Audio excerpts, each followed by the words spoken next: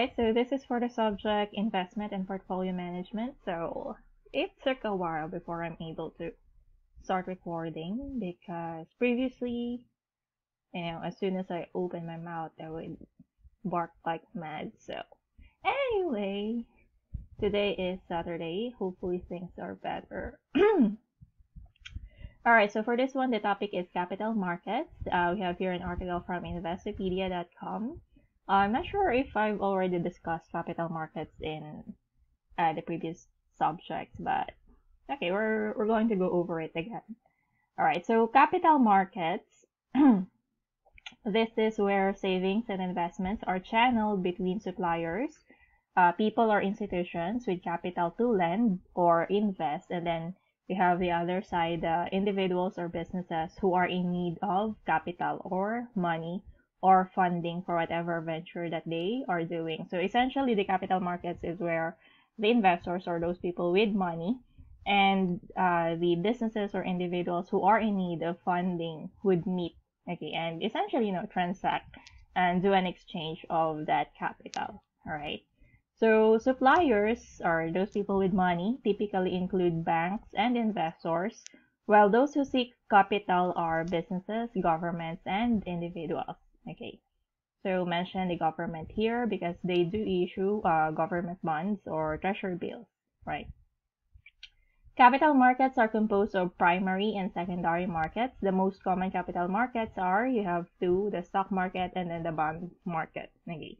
Um, the stock market is more accessible, currently more accessible for you know ordinary people. Um, the banks or financial institutions have created their own, you know, trading platforms wherein their clients, uh, bank depositors should be able to uh, do stock trading through their platforms. And the required capital, you know, to start or to use the trading platforms are minimal. Some of them require only 500 pesos, others require 1000 pesos or, you know, just a small amount of money, right?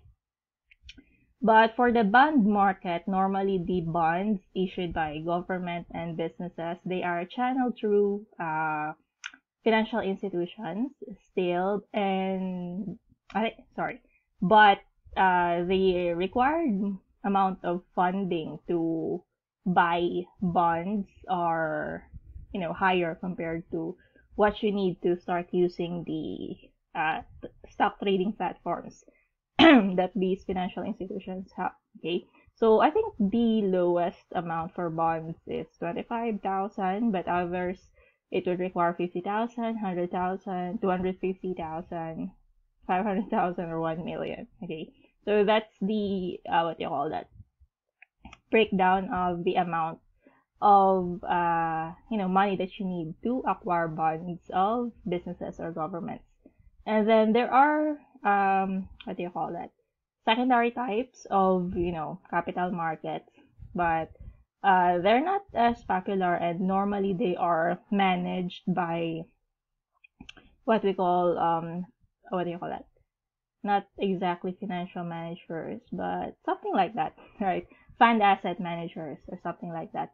Um, what happens is that people normally for, you know, passive type of investors, they would pool their money, you know, each one would contribute a small amount of money regularly, you know, let's say monthly, and then that amount of money would be pulled together and would be handled by this uh, fund manager, and then this fund manager would be responsible for investing this money to, you know, stocks, to bonds, and since the money is pooled, so essentially, you know, it could be used now to acquire uh, the stocks and the bonds regardless of how much is the minimum needed because the pooled amount should be able to cover the minimum amount already okay? So in a way that's how they you know try to um, fulfill the minimum uh, amount of funds needed to invest in the bond market okay? But that's another type of investment. Uh, maybe later on we'll discuss that all right? So essentially capital market again where the suppliers or those people with money and those people who are in need of money essentially meet and you know transfer of capital for use in their ventures okay And then we have two types of capital markets, the primary and the secondary. Okay. Primary is where um, the issuer or the first issuer, the actual issuer of uh, the security instrument and, you know, the first client. Okay. So, is, for example, you have your private corporation and then they issue new stocks. Okay. New stocks. So essentially, the stock would be transferred from this private company to an investor or to its first stockholder. Okay, so that's a primary market. Essentially, the issuer and its you know first holder of that instrument is or are uh, the parties to the transaction. Okay, that's the primary market. Okay, when this stockholder sells the uh, instrument to another investor. So that becomes the secondary market. Okay. So the original issuer of the instrument is no longer, what do you call that, involved in the transaction when it comes to the secondary market. Okay. Essentially, the secondary market is for, you know, investors wanting to sell their instrument early so they find, you know, another investor who would like to invest in the same instrument. Okay. So that's the secondary market. and the importance of uh, the secondary market is that um, it provides liquidity of the instrument. Okay. So for example, you have, you know, this particular instrument, right? But if there is no demand for that particular instrument, if this investor wanted to, you know, sell uh, the instrument already. Let's say, kailangan na niya ng pera or uh, he doesn't want to hold it anymore. So, he would have to find a secondary market for, you know, that particular instrument. Pero kung walang secondary instrument, uh, uh, sorry, kung walang secondary market, then how is he going to dispose that particular instrument? Okay, so that's why in investment, uh, it's very important na merong existing secondary market for a particular uh, investment or security. Okay, kumbaga yung investors, alam nila kung saan nila pwedeng ibenta yung kanilang bibilhin pa lang na uh, instrument. Okay, so later, I think uh, we have another topic for uh, characteristics of investments. Now, one of them is yun, kailangan merong uh, presence of secondary market kung saan pwedeng ibenta or pwedeng i-liquidate or pwedeng i-dispose ng isang investor yung instrument na yun. Okay? Kasi hindi ka naman bibili ng isang investment na later on hindi mo naman maibebenta to other people. Okay? And then when it comes to stock market, balik tayo ng konti sa stock market.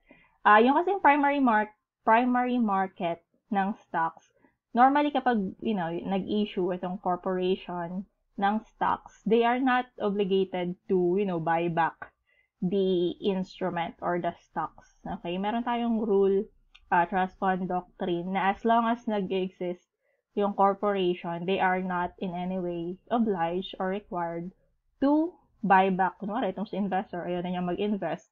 Instead of requiring the corporation to, you know, bilhin mo na pabalik itong binili ko sa'yo na stocks, hindi niya pwedeng gawin yon. Okay, that's why he has to find a secondary market for that particular instrument.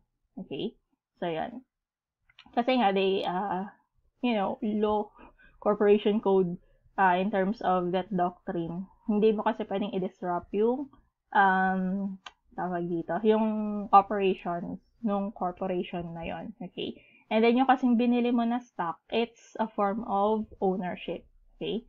And then, kumbaga, owner ka ngayon nung corporation na yon. And if you don't want to become an owner anymore, edi benta mo yung stocks mo to another investor. Okay, but you don't uh, you don't require the corporation to buy it back from you. Okay? So, yan. Tapos, yung sa bond market naman, normally, uh, yung bond market kasi, or yung bonds, uh, meron siyang period of time na after niyang mag-expire, i, tawag dito, kumbaga, bibilhin pabalik yung bonds na yon Okay? Or ibabalik yung principal na uh, ginamit. Sa bonds kasi, 'di ba, nabanggit natin, um, bibili ka ng, you know, principal, sorry, principal amount. So, let's say, bumili ka ng bonds na 1 million, tapos for 5 years siya. For every year, nung 5 years na yon makakatanggap ka ng interest as your earning from investing in that bond or from buying that bond. Tapos after ng 5 years, ibabalik sa'yo yung 1 million na uh, pinambili mo nung bond na yon. Okay, so aside from your principal, you also, uh, aside from getting back your principal, edi ang earning mo doon is yung interest na natanggap mo over the 5 years, right? Pagdating sa stock market, uh, yung pinakang principal niya or yung pinakang amount na ininvest mo nung bumili ka ng stocks, marere-claim mo lang siya or, you know, matatanggap mo lang ulit siya pabalik kapag naibenta mo siya to other investors. Tapos yung form of earnings mo, edi kapag nag-declare ng dividends yung corporation, matatanggap mo yung dividends, uh, that's one way to earn. Tapos yung second, edi kapag uh, binenta mo yung stocks at a price higher than the, the cost. Okay? Binili mo siya ng 100, binenta mo siya ng 120 per share. So, for every share, you earn 20 pesos. Okay? So, ganun. Sa stocks, there are two ways to earn. And then sa bonds, normally isa lang. Siyempre, yung ano lang, yung interest. But if, let's say, binenta mo yung bond, pwede naman kung may existing secondary market, market siya, binenta mo siya to other another person at a price higher than your cost, then you can also earn through that ano, appreciation ng um, market price instrument. okay, so ang main purpose talaga ng capital markets or kung bakit meron tayong capital markets is to improve transactional efficiencies. Okay?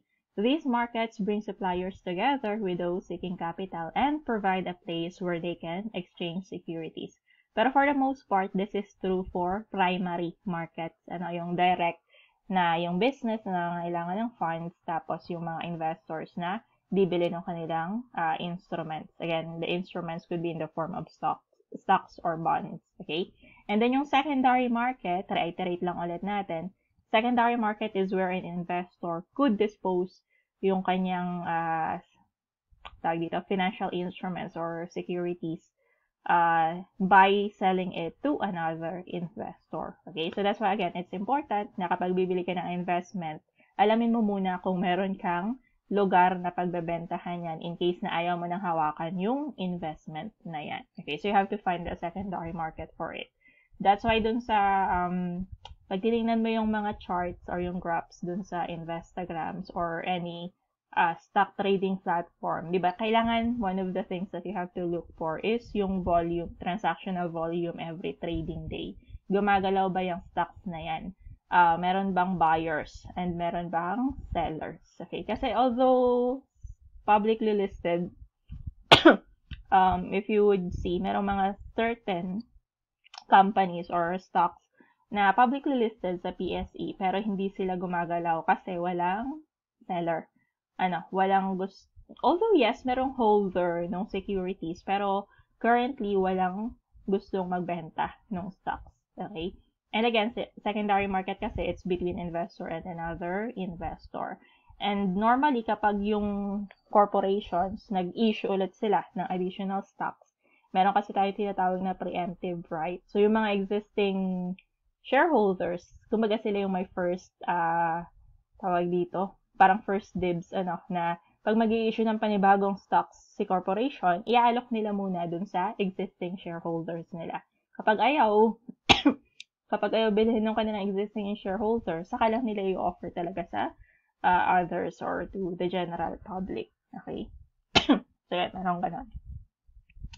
Okay, key takeaways. Capital markets refer to the venues where funds are, again, exchanged between suppliers of capital and those who demand capital for use. Capital, uh, sorry, primary capital markets, new securities are issued and sold directly from the source, uh, either corporation man yan, government, or individual na nagre-raise ng funds for their venture. Secondary market, where uh, previously issued securities are traded between investors. The best known capital markets include stock market and the bond market. Okay, yan yung pinakang kilala. And kumbaga, yung other types of investments, in a way, derivative lang naman sila nung uh, stock and uh, bond markets. And essentially, uh, yung other types of investments na, you know, customized for the needs of the investors, uh, naka based or in a way, nag-invest pa rin naman sila essentially ay dun sa stock and bond markets. Ano? Understanding capital markets, broad term used to describe the in-person and digital spaces in which the various entities trade different types of financial instruments. Okay, itong in-person, you can go to a bank or to an accredited uh, financial institution if you want to buy stocks and bonds. Okay? But in a way, karamihan ng mga banks natin dito sa Pilipinas, they do have uh, online trading platforms na na pwedeng gamitin ng kanilang mga clientele for them to, you know, trans- do the transactions on their own. Sila na mismo yung uh, magla-login lang dun sa digital platform, tapos sila na yung pipili ng stocks or bonds na gusto nilang bilhin or yung financial instruments na gusto nilang bilhin. These venues may include stock market, bond market, and the currency and foreign exchange markets. Okay, so this is the third one. Uh, normally, this is for, you know, people or businesses na merong international transactions or kailangan nila or kumbaga nagre-require sila na uh, mag-exchange pa ng currency for them to be able to transact with another company from another country. Kapag ang uh, currency, of course, is required in the other currency. Ano? Kumbaga, hindi in Philippine peso.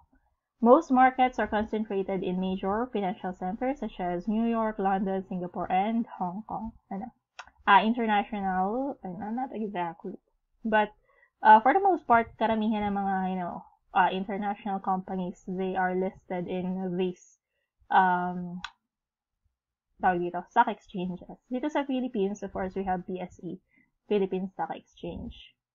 Capital markets are composed of the suppliers and users of funds. So, yung suppliers include households through the savings accounts they hold with banks as well as institutions like pension and retirement funds, life insurance companies, charitable foundations, and non-financial companies that generate excess cash. Okay? So, uh, ba, one source of uh, funding natin, we have the banks and the other financial institutions. Tapos, um, in the previous subject, ano, banking and financial institutions, nab- uh, nabanggit din natin doon yung uh, government financial institutions natin, SSS, PhilHealth, Pag-ibig, and yung kanila mga excess cash, yes, they do put some of the funds or in a way they make investments in government bonds and uh, stocks then. Although, I'm not sure if nakita nyo. Oh, I'm not sure if I already posted it on the channel. Pero, uh, for the most part, karamihan ng kanilang investments ay sa bonds nila nilalagay. Kasi nga, uh, between stocks and bonds, uh, mas safe na investment ang bonds. Okay? Siguro later, under portfolio management, we'll discuss that. Okay. Um, the users of the funds distributed on capital markets include home and motor vehicle purchasers, non-financial companies and governments financing infrastructure investment and operating expenses. Okay? Normally, yun, dito nila ginagamit yung mga nare-raise nila na capital for their operations, of course, and then uh, to invest in infrastructure or what do you call that? Um, machineries and equipment, ano, especially for manufacturing uh, businesses. Capital markets are used primarily to sell financial products such as equities or stocks and debt securities. Itong equities, stocks yan. Tapos itong debt securities, uh, these are bonds. Okay? Ayan. Equities or stocks, ownership shares in a company. So, kapag ang hawak mo ay stocks or equities, technically, ikaw ay part owner ng company. Although, maliit lang. And especially kung uh, just a small portion of the authorized shares ng company. Tapos yung debt securities, examples nito ay yung bonds, interest-bearing IOUs. Ano? Uh, ito, kumbaga, guaranteed, or not exactly guaranteed, but uh, the issuer is required to pay you the interest on bonds kasi on a regular basis depending on, you know, the terms and conditions na nandun sa instrument. Ayun. Tapos yung equities kasi, um, hindi required technically na mag-declare ng dividends. Kumbaga, it's a company discretion or management discretion if they want to. Uh, but for the most part, uh, as long as kaya nilang i-justify na merong paggagamitan yung company ng kanilang earnings or retained earnings, they it's possible that they would not declare dividends. So, kadalasan, yung mga nag invest sa stocks, nakadepende siya dun sa magiging uh, changes in the market price ng stocks. Okay. So, in a way, that's one of the reasons kung bakit mas preferable ang debt securities or bonds. Uh, less risky siya. Ano. These markets are divided into two groups. Primary, again, new equity stock, and bond issues are sold to investors. Tapos yung secondary, secondary markets, um, between investors na. Okay. Um, capital markets are a crucial part of a functioning modern economy because they move money from people who have it to those who need it for productive use. Okay, so in a way, this is um, one of the functions ano, ng financial institutions. And as financial institutions, they do act as capital markets. Okay? So, ayan, um, right-right pa ba natin? Primary versus secondary.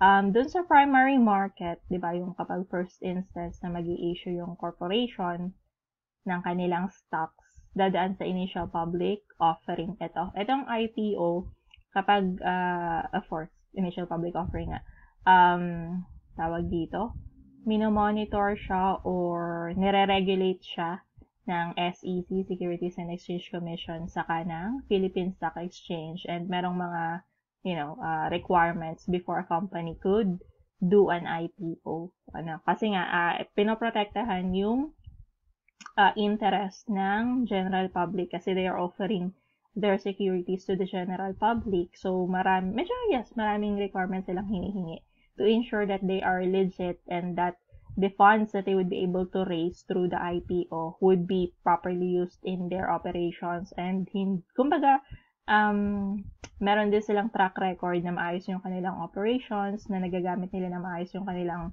you know, previous funds at hindi uh, kumbaga risk-wise ina-assess din ano na in a way to assure lang din yung public na kapag nag-invest kayo dito sa IPO nitong company na to, um, hindi naman basta-basta mababankrupt ano, yung company or hindi naman basta-basta itatakbo na lang nila yung pera, hindi na lang basta-basta na mag-stop na lang sila ng operations. Ano. So, ayun. Uh, that's the primary market. So, in a way, it is quite safe na mag-invest uh, sa through PSE. Ano kasi it in a way they are regulating all the companies that are publicly listed in them. Okay? And yung mga nag-IPO, although there are certain um uh, mag- meron kasing iba't ibang reason ng companies din on why they offer why they do IPO, initial public offering. And depending on their reasoning, merong mga investors na, syempre, if you're new investor, hindi mo alam, edi baka mainganyo ka na mag-invest in their IPO to buy uh, their stocks. Pero syempre kung, you know, in a way, medyo experience ka na na investor, ay, uh, there are some things that you have to look for that, ano, kasi merong iba, uh, they are raising money through IPO just uh, to pay off their debt, ano, yung mga existing debt nila. So, in a way, it's not very, you know, attractive reason uh, na mag-invest ka tapos ipambabayad lang nila sa uh, creditors nila. So, you know, not very attractive. Tapos, um, another thing na tinitingnan din ng mga experienced investors is that yun bang IPO price, ano, yung initial offering price ng security, is it fair siya ba, or baka naman siya ay overpriced na tinatawag.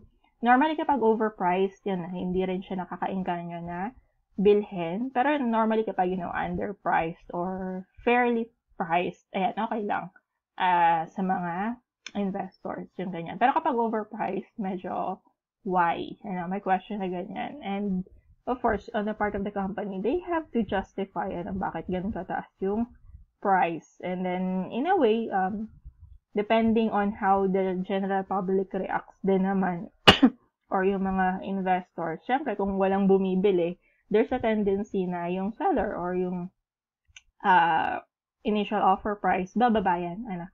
Kasi kung hindi naman siya kinakagat ng mga investors, eh, of course, supply and demand, if there's no demand for it, bababa yung price. And it's when uh, the investors feel na fairly priced na yung isang security or isang instrument, saka, na, syempre nila bibilhin yon. Okay, so another thing, that's another thing that they are uh, considering before buying an IPO. or even an existing uh, stock for that matter. Ano? Ayan. Uh, all issues on the primary market are subject to strict regulation kasi nga you have your SEC, uh, Securities and Exchange Commission, we have that here in the Philippines. Tapos meron tayong Philippine Stock Exchange. Ano, meron mga requirements tapos, uh, in a way, they do audit or monitoring din na kapag meron kang non-compliance, you will be either penalized or you will be called to account for the uh, findings ano, before you are given uh, some sort of securities of uh, tawag. Parang ano, uh, good standing, certificate of good standing as a company or as a corporation. And, and then I think that's one of the requirements that uh, PSE requires before ka makapag uh, offer ng iyong stocks to the general public. Okay? Small investors are open, often unable to buy securities on the primary market because of because the company and its investment bankers want to sell all of the available securities in a short period of time to meet the required volume. Normally, yung primary market, um, it, ang players doon, syempre you have your corporation or the government. Tapos the other party is normally the financial institutions. Ano, kasi sila yung may pera, sila yung may hawak ng uh, funds. Tapos kumaga sila yung first instance na bibili ng securities and then they offer they offer it to their uh, clientele na lang din. Okay? Or meron din namang mga individual investors na, you know, madatong malaki ang pera ang hawak nila. So, they are also able to um, buy uh, the securities in the primary market. Ano? And in a way, they are well connected sa financial institutions. Kasi mga financial institutions naman din, alam nila kung sino yung uh, mga clients nila na may kakayanan na bumili directly from uh, the issuers. Okay? Ayan. Tapos, yung individual investor na yon saka yung mga financial uh, financial institution, sila na yung bahala na, you know, secondary market na bebenda nila to uh, smaller investors. Marketing the sale to investors can often include a roadshow or dog and pony show in which investment bankers and the company's leadership travel to meet with potential investors and convince them of the value of the security being issued. Okay? But again, normally through the financial institutions. Secondary market, so, you know, um, investor to another investor, pero siya ay um, regulated pa din ng SEC. And you have your PSE then, stock exchange. And, uh-huh. Issuing companies do not have a part in the secondary market kasi siya between investors na nga lang. Ayan. Examples of secondary markets, you have your stock exchange. Sa US, they have NASDAQ for smaller companies, pero dito sa atin, we only have PSE. Uh, secondary markets, two different categories, auction and the dealer markets. I don't think we have this here. I don't think we have this here. Pero we have PSE. Okay. Are capital markets the same as financial markets? Um, financial market, it's a broader term, ano, uh, huh? distinctions. Financial markets encompass the broad range of venues where people and organizations exchange assets, securities, and contracts with one another. Under ng financial market and capital market, or a, a classification of a financial market, yung capital market And are often secondary markets. Capital markets, on the other hand, are used primarily to raise funding, usually for a firm, to be used in operations or for growth. Okay? So, much more specific itong capital markets kasi funding or capital yung pinakang focus niya and din yung transaction between, you know, suppliers and the users. Alright, itong financial market, so you have your um, exchange assets, okay, securities, under ng securities yung stocks and bonds natin ng capital markets. Tapos contracts with one another, yung mga derivatives pa. Okay. so yan, nabanggit na natin. Ilang beses na natin nabanggit ang primary and secondary. Which markets do firms use to raise capital? Companies that raise equity capital can seek private placements via angel or venture capital investors. These are types of financial institutions and are, you know, as sources of capital, but are able to raise the largest amount through an initial public offering. So, in a way kasi medyo trusted itong IPO kasi kumbaga vetted na siya ng regulatory agencies. Ano, kumbaga dumaan na sa process and they already passed the requirements to the regulation or to the regulatory agencies. Alright.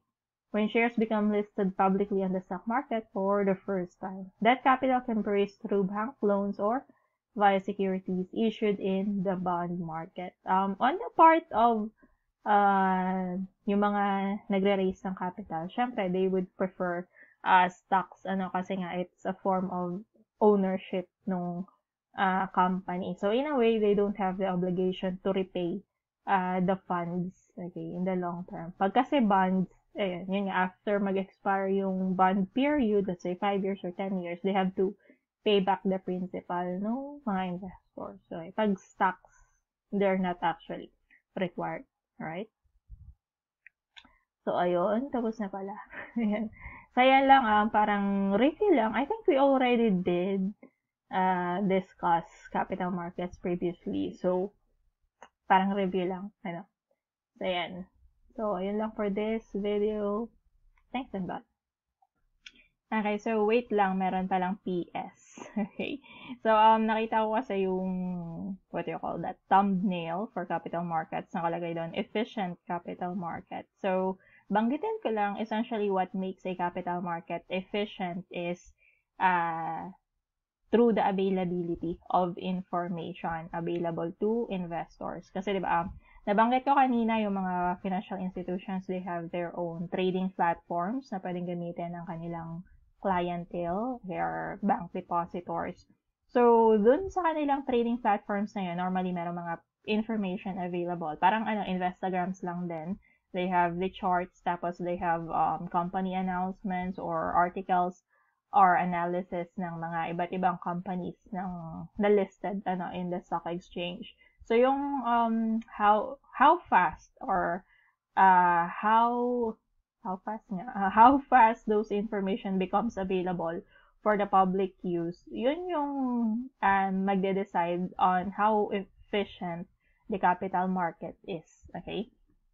So ito, with regards to that in to those information, kasi nga um fake news din, ano, um, there's a possibility kasi na, meron, of course, you have your analysis made by experts, but then you also have certain articles made by um, dubious individuals or yung mga taong hindi mo masyadong pag, mapagkakatiwalaan. Okay? So, here's the thing about investment din kasi. You have your, of course, you have your stock market, you have your bond market, but, um, di ba, it's in a way, it's a kind of game kasi in the market, you have your sellers and then you have your buyers. And sometimes these sellers, uh, the sell it's normally the sellers who hype uh, certain stocks or certain instruments. Okay? Hinahype nila yung instrument to make sure na magkaroon ng buyers interested in that particular security. Kasi nga, kahit andyan na yung investment, hawak mo na. Kung hindi mo naman siya maibenta to other people, then how are you going to profit from it? Okay? Kasi as long as hawak mo pa rin yung investment, um, unrealized, ano, regardless na tumaas or bumaba yung market price, kapag hindi mo siya, hanggat hindi mo pa siya nabebenta, wala ka pang unrealized, ah, sorry, wala ka pang realized na gain or profit. Okay? And also, there's a possibility na uh, maging loss yan kapag syempre mas mababa dun sa cost mo yung magiging selling price mo. But, again, some people, uh, what they would do is they would release articles or, you know, professional sounding analysis of a particular company or a particular instrument. Although it could not, it could be real, it could not be real. Pero again, uh, sometimes in a way, may pagka, you know, speculation din, uh, yung mga analysis ng companies. Kasi nga, it's uh, about the future, di ba? Ano yung magiging future performance nitong company na to. And of course, if you want it to be attractive to buyers, edi syempre gagandahan mo yung sasabihin mo sa analysis mo, and uh, babanggitin mo din ng mga speculation mo na because of the projects lined up by the companies, ito yung mga possible na mangyari for the company and possible na maging uh, profit performance nila in the coming year or something, okay? And in a way, yun yung nagiging paraan ng iba, especially the sellers, on how they are able to, sorry, to hype uh, the instrument. Siyempre, kapag ganun, tataas, di ba? Uh, may encourage yung buyers na, uy, mukhang maganda yung uh, company stocks na yun or yung instruments na yan. Why don't we try buying that?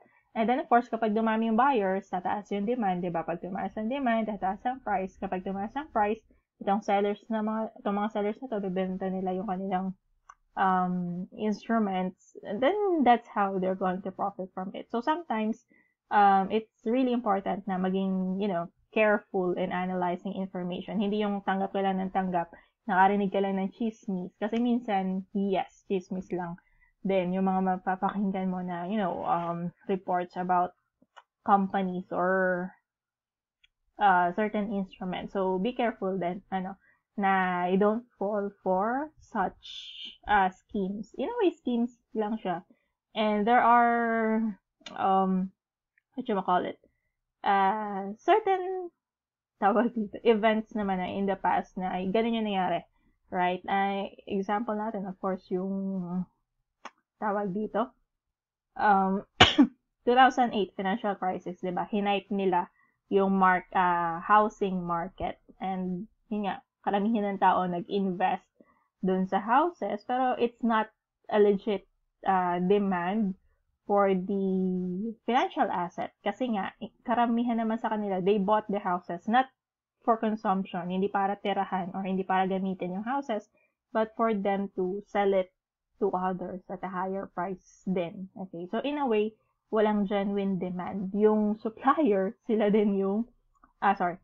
Kumbaga yung mga suppliers, sorry, yung buyer ng properties, sila din, sila din yung supplier kasi after they buy the houses, ibebenta din nila. So, in a way, yung hinahanap natin na equilibrium ng supplier, supply and demand, it did not work out as, di ba, yung principles natin ng supply, uh, law on supply and demand. Kasi nga it's not general demand. And there are a number of, you know, investments na tinatawag in the market nowadays na hindi naman legit na investments din. Kasi nga uh, hinahype lang yung investment. Tapos hindi for consumption yung mga buyers ano hindi for consumption but for investment din so essentially the demand side of the equation is not real. Okay?